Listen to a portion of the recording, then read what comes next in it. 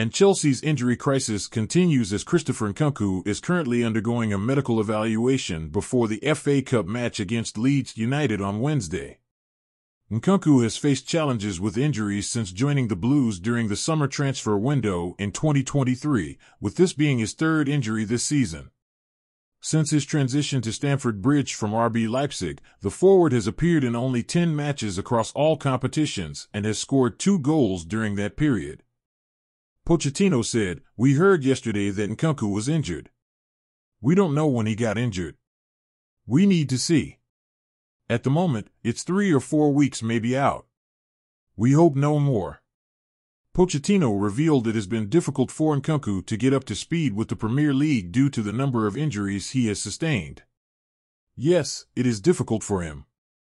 We were watching and he was flying in preseason until he got the knee injury, and now it's nearly eight months, and even when he was ready to be involved again, he was never the same player as before, Pochettino said.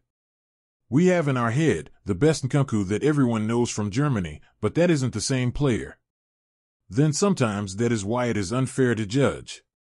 The situation is always completely different. In that case, for the team, yes, it is not a good thing for us. We cannot provide the team a player that can perform and score goals. How many injuries does it require for Chelsea to fire the medical staff? We have not had less than eight players injured every game of the season. Every time a player comes back from an injury, he soon gets injured again. Subscribe if you want the latest Chelsea injury news and updates.